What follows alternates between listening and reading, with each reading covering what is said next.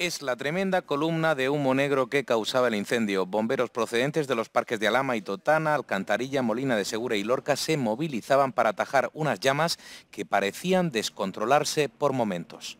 No es normal. Esto es mío y ahí un poco adentro tengo la casa. Claro, la preocupación de que no... Sí, de que saltara. Tengo aquí dos mangueras preparadas por si cambia el aire alguna, yo qué sé, porque ahora no se oyen muchas explosiones, pero al principio se oían muchos plof, plof, plof. Nervios y tensión entre los vecinos y entre los propios empleados de la empresa que contemplaban atónitos cómo el fuego devoraba su lugar de trabajo. Impactante, impactante, porque vamos, ahí hay miles de... ¡Uh! ¡Qué explosión!